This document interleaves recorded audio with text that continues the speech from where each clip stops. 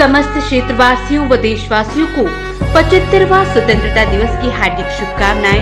बधाई करता अनुपम शर्मा, ग्राम विकास अधिकारी धनोरा ब्लॉक जनपद अमरोहा।